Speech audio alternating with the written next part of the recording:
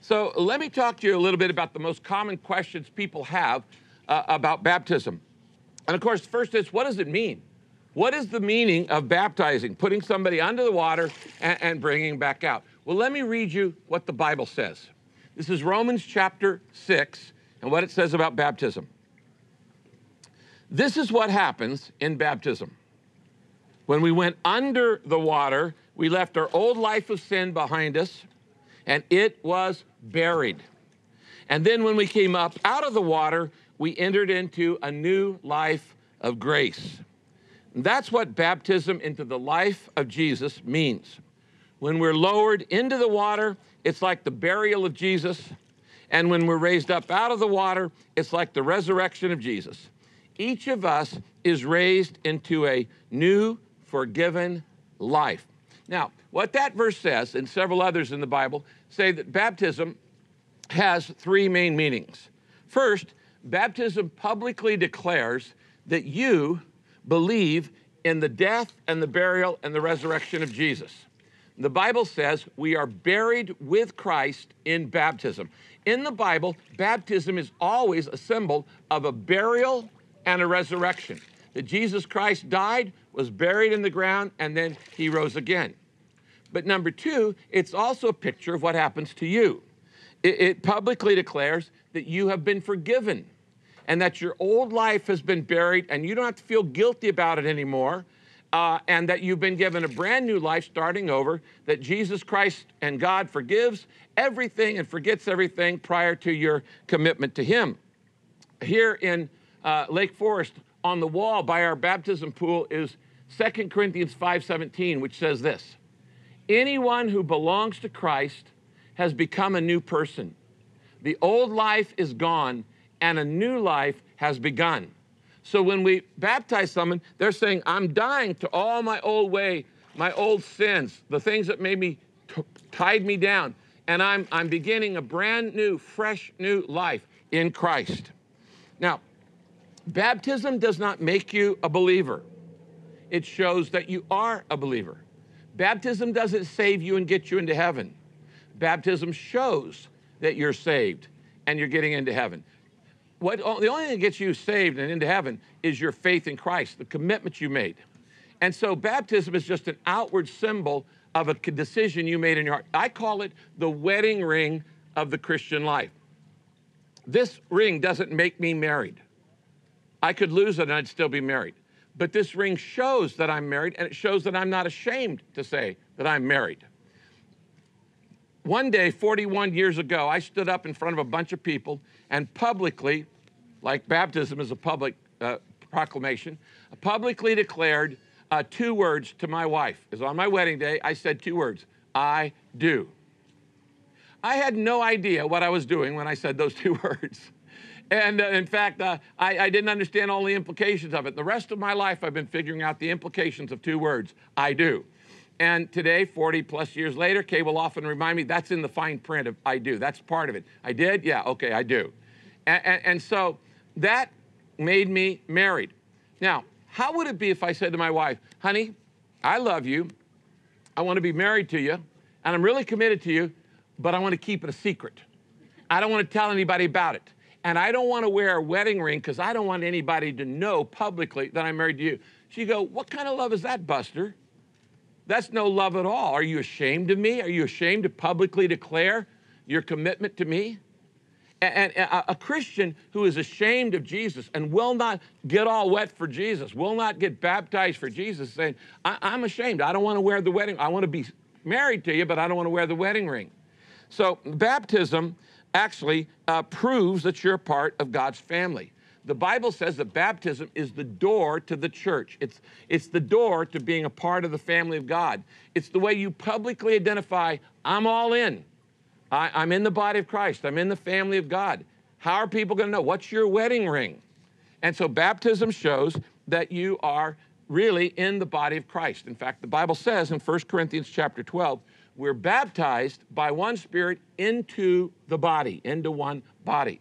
And so uh, that's, that's the importance of it. Now, the question then is why should I be baptized? Why should I be baptized? And there are actually four reasons the Bible says everybody who's a Christian should be baptized. Now, I'm not talking about baptism as a little kid. I'm talking about the kind of baptism Jesus did when he was 30 years old as an adult. Uh, it was his decision. Now, there are four reasons you should be baptized. First, Jesus set the example. Okay, he set the example. He, um, uh, he was baptized. Anything Jesus did, you should do too. If Jesus did it, you should do it. And everything he did, he did to model for us. So Jesus, at 30 years of age, went down to the Jordan River and was baptized by John, put under the water, and then brought back out, symbolizing his death, his burial, and resurrection, which hadn't yet happened, but was going to happen. So Jesus set the example. Number two, God commands it. Over and over again in Scripture, we are commanded by God that if you really are a true believer, you'll be baptized. Now, uh, one of the last things Jesus said before he went back to heaven is called the Great Commission. And this church, Saddleback Church, was built on that statement, which says this Go to all the world and make disciples and baptize them in the name of the Father and the Son and the Holy Spirit. So, so we do that. Now, the third reason you ought to be baptized is it shows that you are a believer. It, it is your, your coming out party, it's your debutante ball, it's your public statement saying, I am not ashamed to say, I love Jesus Christ. Now, baptism doesn't say, well, I'm going to be perfect or I'm never going to sin again. Of course, you're not gonna, you're going to sin. Baptism just says, this is where my heart is. My heart is, I want to honor God. And if Jesus said, do it, he said, if you love me, keep my commandments, then I'm going to follow his commandments. I once had a little uh, boy come up to me and he said, Pastor Rick, when can I get advertised? And I like that because that's what really baptism is. Baptism is an advertisement for Jesus. It's saying to the whole world, I'm not ashamed. I love God. I love Jesus. I'm, I, am not embarrassed by it. I'm willing to get my hair wet for it. I, I, it's a humble ex- expression of saying, I'm, I'm advertising my faith to the whole world. And then there's a fourth reason why you should be baptized, and it's this I don't want Jesus to be ashamed of me in heaven. Now, I put this verse on, on your outline so those of you who are uh, in the worship center can read this. Matthew 10, these are the words of Jesus. Very important verse. Listen to this. Those who publicly declare that they belong to me. That's baptism, a public declaration uh, uh, of your faith. Those who publicly declare that they belong to me, I will do the same for them before my Father in heaven. That's what Jesus said. But, and here's the, here's the scary part those who reject me publicly. I don't want anybody to know. I don't want to publicly declare my faith. Those who reject me publicly, I will reject before my Father in heaven. So if you really have the Lord in your heart, you need to be baptized. Now, some people say, well, wait a minute. Um, I, was, I was baptized as, uh, as a baby. Um, uh, why should I be baptized uh, underwater uh, as an adult? And again, the Bible gives us four reasons, four reasons for this. Uh, number one, it's because Jesus was baptized that way. I told you, Jesus was 30 years old. It was his decision. Now, as a, as a baby, Jesus was dedicated. There's nothing wrong with that. Many of us in our church were baptized as babies. And, and, that's, a, that's fine. There's nothing wrong with that. It's great. In fact, I honor your parents for having them do that because it was saying, we want this child to be raised in the Lord. But the truth is, if you were baptized a baby, you don't even remember it. It wasn't your decision, it was your parents' decision. And so uh, Jesus, as a baby, was dedicated in the temple, but as an adult, 30 years later, said, okay, this is my faith now. And he, as an adult, went and was baptized in, in the Jordan River. So uh, Jesus was baptized uh, by immersion. Second reason is it's the only way to symbolize a death and a burial and a resurrection. And the Bible says that's what baptism's all about to show the death and resurrection of Jesus. Uh, there's some churches, and these are good churches. We have nothing against them. Uh, they, they sprinkle uh, water, or they, they pour water, or they, they do a little dip, or put a little here on your forehead. Why do they do it? Just a matter of convenience. It, it has, it's not in the Bible, it's just a matter of convenience. In fact, for 1,200 years, uh, all Christians were baptized underwater, and then they just started doing some more convenient ways. We like to do it the old fashioned way. We like to way, do it the way Jesus said to do it because it is the only way to illustrate a death and a burial and a resurrection. And that's the meaning of baptism. Now, there's a third reason. It's because that's what the word means. The word baptism means to dip under water.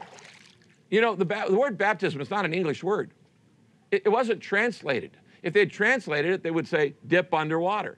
They just put the Greek word in there, baptizo. And, and, and baptizo simply means to dip underwater. You can go to any Greek dictionary on the planet Earth, and every dictionary will tell you baptizo means to dip underwater. So when I wash dishes, I baptizo those dishes under the water. I baptize those dishes. And, when, I ba- when I wash my clothes, I don't just sprinkle a little water on them go, well, they're clean. No, no, I, I dip them, I dunk them uh, underwater. And the word literally means to dip or to dunk underwater. And then the fourth reason is because every single baptism in the Bible uh, was by immersion, by putting people uh, under the water. Now, even the churches that, that practice more convenient methods, uh, they wouldn't disagree with what I just said. Uh, in fact, all of the founders of these different denominations actually believed uh, the same thing that I just taught you. Let me read you some direct quotes. Uh, Martin Luther.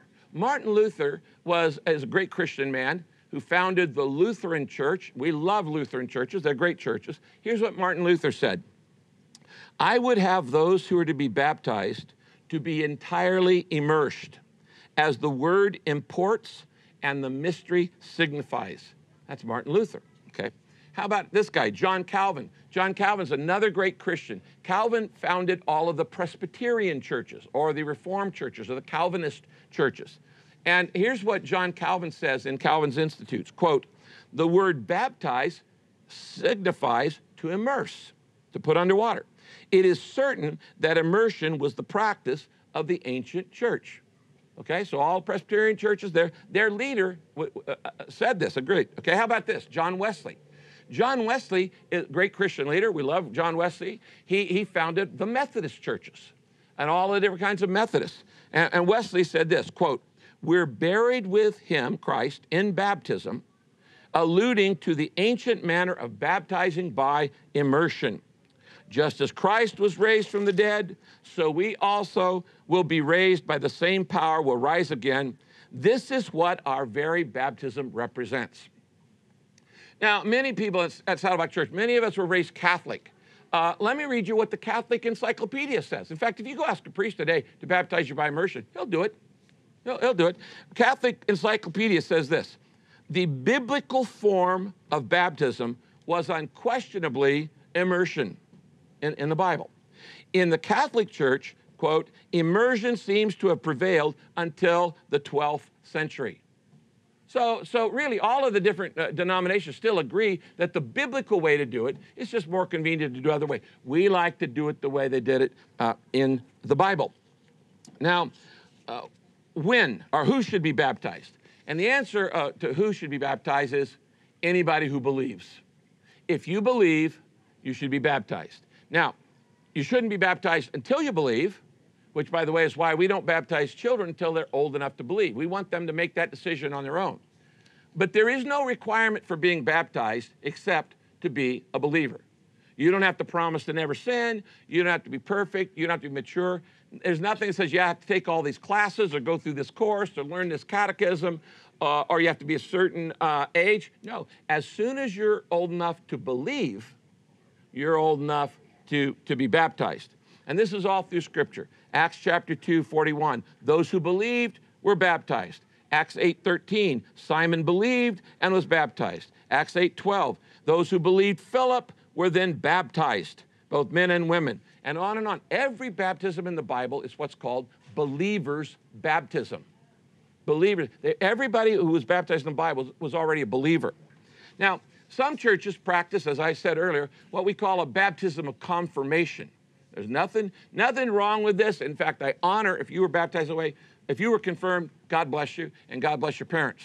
Because it was saying, I'm committing uh, my children to Christ. And here at Saddleback, we do baby dedications all the time.